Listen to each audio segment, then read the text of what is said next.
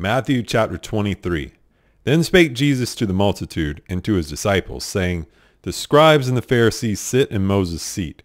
All therefore whatsoever they bid you observe, that observe and do. But do not ye after their works, for they say and do not. For they bind heavy burdens and grievous to be borne, and lay them on men's shoulders, but they themselves will not move them with one of their fingers. But all their works they do for to be seen of men. They make broad their phylacteries, and enlarge the borders of their garments, and love the uppermost rooms at feasts, and the chief seats in the synagogues, and the greet- greetings in the markets, and to be called of men, Rabbi, Rabbi. But be not ye called Rabbi, for one is your master, even Christ, and all ye are brethren. And call no man your father upon the earth, for one is your Father, which is in heaven. Neither be ye called masters, for one is your master, even Christ. But he that is greatest among you shall be your servant. And whosoever shall exalt himself shall be abased, and he that shall humble himself shall be exalted. But woe unto you, scribes and Pharisees, hypocrites, for ye shut up the kingdom of heaven against men. For ye neither go in yourselves, neither suffer ye them that are entering to go in. Woe unto you, scribes and Pharisees, hypocrites! For ye devour widows' houses, and for a pretense make long prayer. Therefore ye shall receive the greater damnation. Woe unto you, scribes and Pharisees, hypocrites! For ye compass sea and land to make one proselyte, and when he is made, ye make him twofold more the child of hell than yourselves. Woe unto you, ye blind guides, which say, Whosoever shall swear by the temple, it is nothing. But whosoever shall swear by the gold of the temple, he is a debtor. Ye fools and blind, for whether is greater, the gold or the temple that sanctifieth the gold? And whosoever shall swear by the altar, it is nothing. But whosoever sweareth by the gift that is upon it, he is guilty. Ye fools and blind, for whether is greater, the gift or the altar that sanctifieth the gift? Whoso therefore shall swear by the altar sweareth by it, and by all things thereon. And whoso shall swear by the temple sweareth by it, and by him that dwelleth therein. And he that shall swear by heaven sweareth by the throne of God, and by him that sitteth thereon. Woe unto you, scribes and Pharisees, hypocrites! For ye pay tithe of mint and anise and cumin, and have omitted the weightier matters of the law, judgment, mercy, and faith. These ought ye to have done, and not to leave the other undone. Ye blind guides, which strain at a gnat and swallow a camel. Woe unto you, scribes and Pharisees, hypocrites! For ye make clean the outside of the cup and of the platter, but within they are full of extortion and excess. Thou blind Pharisee, cleanse first that which was, is within the cup and platter, that the outside of them may be clean also.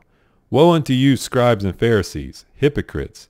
For ye are like unto whited sepulchres, which indeed appear beautiful outward, but are within full of dead men's bones, and of all uncleanness.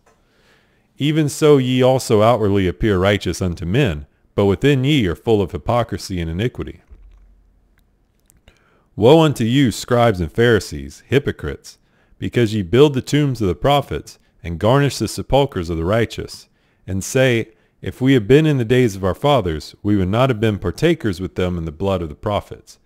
Wherefore ye be witnesses unto yourselves, that ye are the children of them which killed the prophets. Fill ye up then the measure of your fathers. Ye serpents, ye generation of vipers, how can ye escape the damnation of hell?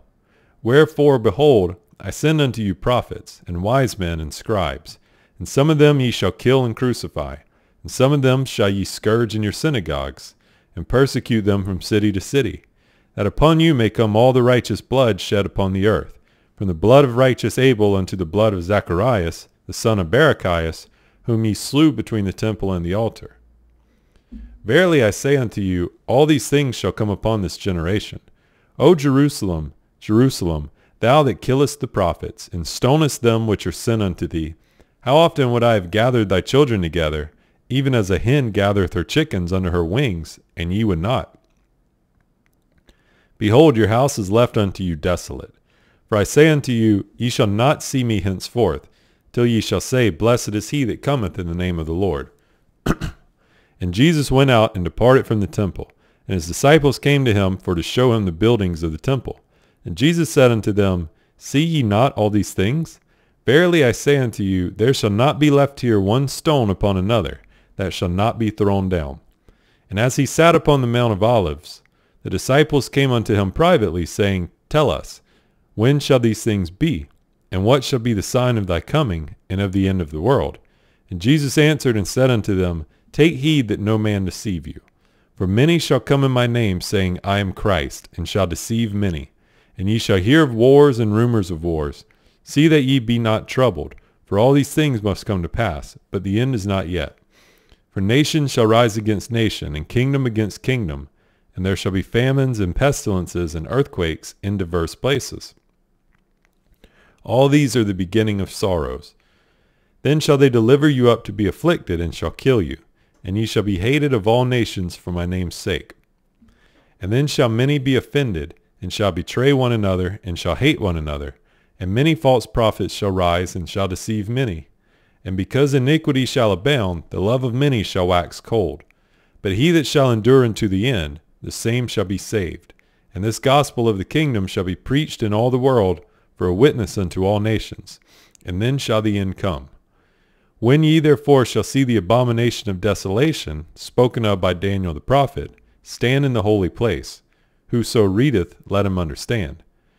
Then let them which be in Judea flee into the mountains. Let him which is on the housetop not come down to take anything out of his house. Neither let him which is in the field return back to take his clothes. And woe unto them that are with child, and to them that give suck in those days.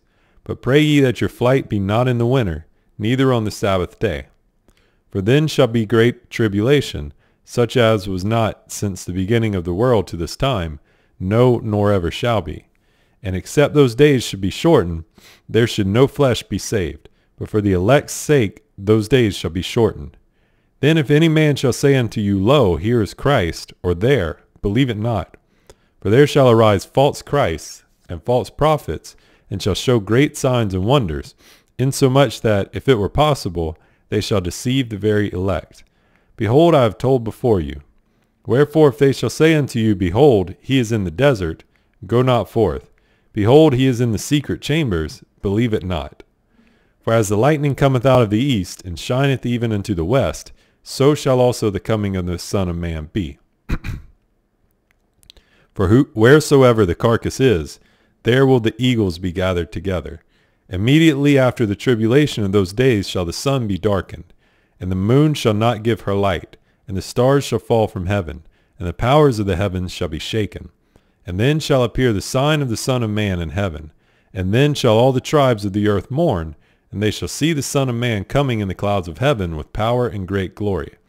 And he shall send his angels with a great sound of a trumpet, and they shall gather together his elect from the four winds, from one end of heaven to the other. Now learn a parable of the fig tree. When his branch is yet tender, and putteth forth leaves, ye know that summer is nigh.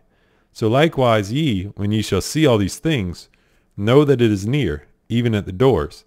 Verily I say unto you, this generation shall not pass, till all these things be fulfilled. Heaven and earth shall pass away, but my words shall not pass away. But of that day and hour knoweth no man, no, not the angels of heaven, but my Father only. But as the days of Noah were, so shall also the coming of the Son of Man be. For as in the days that were before the flood they were eating and drinking, marrying and giving in marriage, until the day that Noah entered into the ark, and knew not until the flood came, and took them all away, so shall also the coming of the Son of Man be. Then shall two be in the field, the one shall be taken, and the other left. Two women shall be grinding at the mill, the one shall be taken, and the other left.